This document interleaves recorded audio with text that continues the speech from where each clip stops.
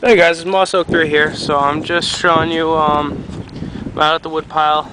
This is the uh, start of it for the new year. Um, just a little bit at the moment.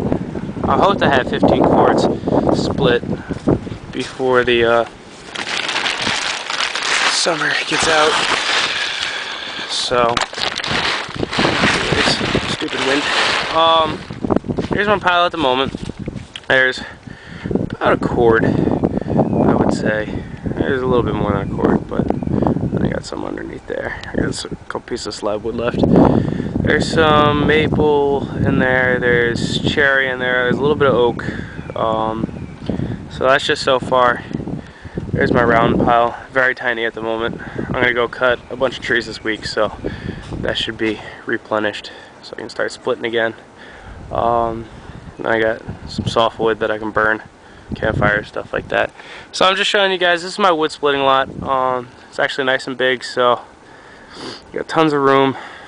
Do lots of logs, stuff like that. I got all the pallets in the back so I can stack all the wood up. Because, um, you know, I hate to see it go the way it's rotting on the ground. So, this is my wood lot. This is what I do for extra money. Um, you know, I'm 18 now, going to college next year, so anything that, or a couple extra bucks is always good. So, Remember guys, this is Moss Oak 3. Please subscribe.